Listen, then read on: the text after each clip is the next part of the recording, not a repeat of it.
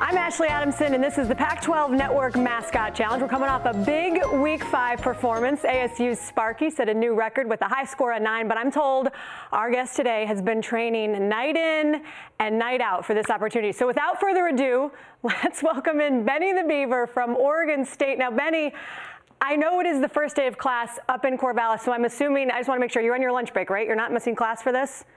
You're good. Okay. All right. Are you ready to go? How you feeling? All right, let's do this. You know the drill. Put a minute on the clock and let's cue that awesome music and let's make some magic.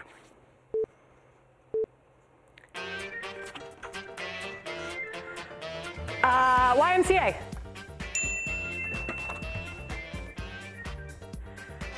Uh, lower lip, laughing. Okay. Telling a secret. Telling a secret. Whispering a secret. Wh whispering. Whispering.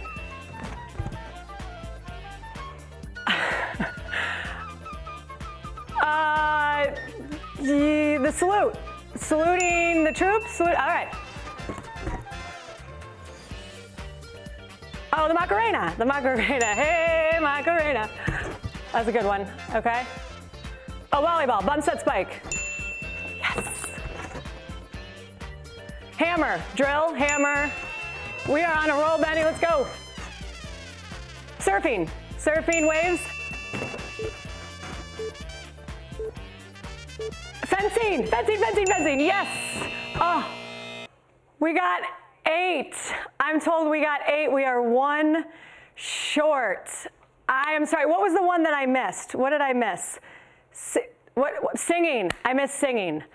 I'm sorry, Benny, but you know what? Eight is good. Until last week, that was the best. And I am going to say you have the best smile in the Pac 12 by far. Look at that. Look at those shiny, brilliant white teeth.